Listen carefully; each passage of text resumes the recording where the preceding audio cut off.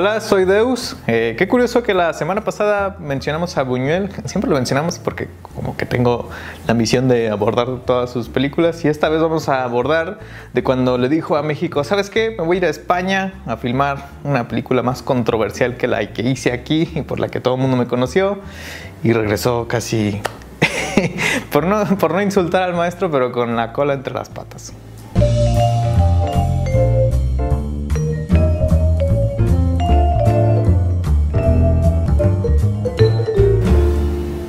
La etapa de estadías mexicanas de Buñuel lo consagraron como un director valioso, pero esto no era sinónimo de que fuese un éxito en taquilla. Y es que a pesar de haber iniciado esta etapa con Los Olvidados, las demás películas de Buñuel no tenían el mismo sentimiento o controversia o dinero. Claro que hay grandes películas en este momento, como Susana o Él o La muerte en el jardín y Nazarín, pero estas serían revaluadas por el público hasta después de su muerte. Incluso por esta etapa se encuentran las exploraciones norteamericanas de parte de Buñuel en un intento por generar renombre dentro de las estadías de Hollywood, pero estas pasarían desapercibido. De hecho, una es Robinson Crusoe, que es quizás su peor película. Tras el fracaso de taquilla de la joven, precisamente de esta etapa, Buñuel se embarcaría en un viaje de redescubrimiento por sus tierras natales y así el desarrollo de la nueva película que lo pondría en el mapa como uno de los realizadores más valiosos y uno de los más controversiales. Luis Buñuel conocería a Gustavo Alatriste en el set de Archibaldo de la Cruz cuando este todavía cortejeaba a Silvia Pinal en medio de sus primeros matrimonios y este le propondría a Buñuel la realización de una película la que él quisiera hacer con carta blanca. Y por su viaje de regreso a España, este concibió el primer bosquejo de Viridiana. El guion sería posteriormente desarrollado de la mano con Julio Alejandro y tuvieron la propuesta más atrevida de sus carreras. Decidirían filmar Viridiana en medio de una España franquista. Viridiana es una carta de ofensa primordial. Es una película que estipula de manera muy franca y desgarradora el nihilismo humano que se percibe por parte del realizador frente a la religión. Es una gran obscenidad y por lo tanto es una película demasiado valiosa. Si pudiese asistir yo a una premier del pasado, quizás sería una de Viridiana, entre una de mis más deseadas, para constatar el horror del encuentro de las audiencias, por ese entonces demasiado fervientes, por donde pasar a la película con la historia de una mujer devota de la fe que es puesta a prueba en múltiples ocasiones solo para dinamitar sus creencias y devociones.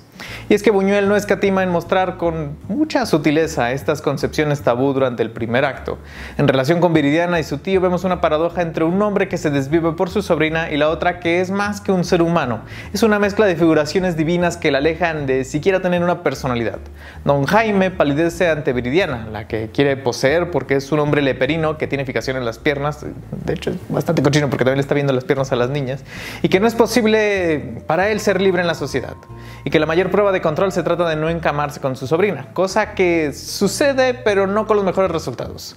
Don Jaime al final de todo este meollo tiene la última bufetada en el dilema con Viridiana porque al volverse literalmente un Judas, vende a la mujer y esta termina arraigada en un espacio que nunca va a poder abandonar. De hecho, es una situación un tanto pseudo-gótica.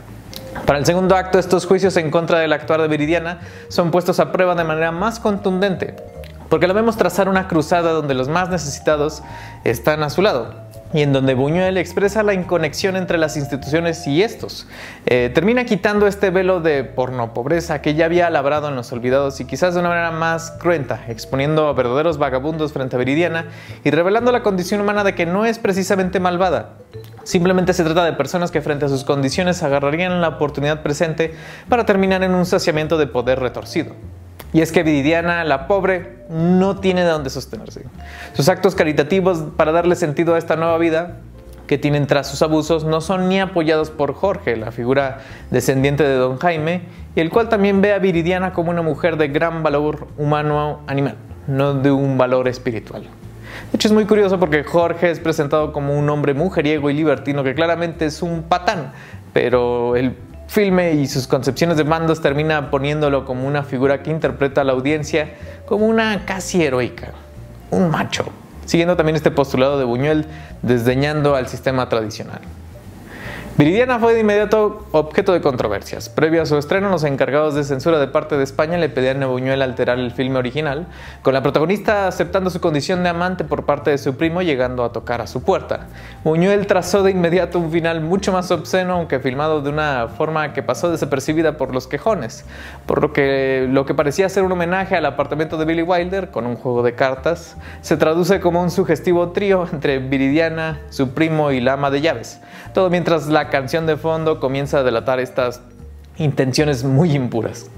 Viridiana sería posteriormente estrenada en Cannes el 17 de mayo de 1961 a las 3 de la tarde el último día, sin mucha fanfarria para la prensa internacional. De hecho, nadie le hacía caso a, mi Silvia Pinal, pobrecita.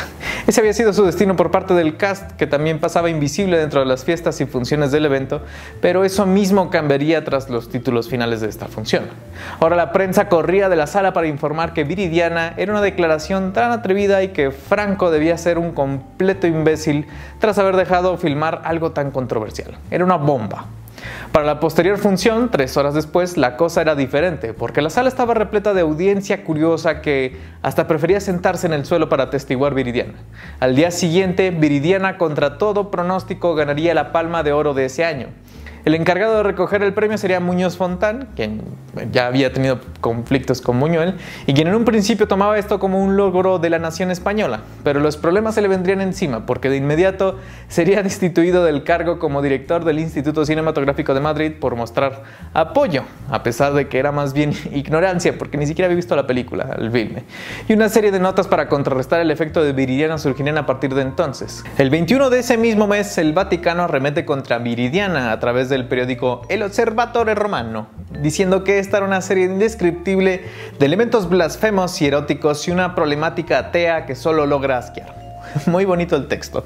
Y esto es lo que más llega a pesarle a oídos españoles considerando el fuerte arraigo religioso dentro de las instancias y personas de gobierno. En un principio creen que la mejor solución a este problema es ignorar a la película en todo asunto, lo que termina siendo muy contraproducente de manera muy hilarante, porque tras llevar una copia de Viridiana al comité de censura, esta no recibe respuesta alguna, por lo que pues, los productores terminan dando por entender de que tiene licencia de exhibición y termina proyectándose en el Festival de Cine local. A partir de ahí comienza una batalla legal para poder censurar a Viridiana y en donde Gustavo Alatriste, el productor, termina renegando de la producción española para darle cobijo mexicano, cosa que no le agrada a por lo menos a España. Tras hacer pública la problemática legal del filme, el productor, mostrando los documentos que le validan a Viridiana hacer una película de su país, termina esta siendo un gato de Schrödinger, porque para España, si no tiene la validación nacional, no se filmó y no existe. Eh, de hecho, hay un asunto y una especie como de mito de que Silvia Pinal se quedó con una copia y que ella trajo a México. Es un dato que no he podido corroborar porque sí existe el asunto de que se quedaron con una copia y que esta terminó siendo mandada, pero también se da el crédito Gustavo Latriste y el hijo de Luis Buñuel. Y creo que a todo mundo le gusta pensar que las piernas de Silvia Pinal guardaron la película, pero bueno, cada quien elige su mejor versión. En otras partes del mundo no fue diferente. En su estreno por Roma, Viridiana recibiría amenazas de parte del Vaticano por considerarla una gran ofensa a la religión, y en Milán los cines que proyectaban Viridiana eran cerrados de inmediato, con una demanda para Buñuel amenazándolo con un año de cárcel si éste llegaba a pisar el país, además de ser censurada en Finlandia y Suecia. Por su parte, durante su estreno en México en 1963, Viridiana se volvió un éxito de taquilla inmediato. Quizás también era por el asunto de que Silvia Pinal ya era una figura reconocida dentro de la filmografía mexicana, además de haber trabajado con Catinflas y con Tintán, que curiosamente aquí se ve más joven que en esas películas. Y pues obviamente el morbo eh, y la cuestión moralista hicieron de esta película una de las favoritas. Es curiosamente esta película que se aleja de México para llegar a España, pero que tras su regreso a México termina regresando a España y después volvería a México a filmar dos obras maestras. Qué curioso y muy confuso. Eso fue todo, no se olviden de checar la cartelera cultural en Zona Franca, aquí están mis redes sociales. Viridiana es una película que es muy fácil de encontrar igual de embotadero y ya saben, como un piratilla. Eh, quiero que pongas un piratita, una bandera pirata por aquí.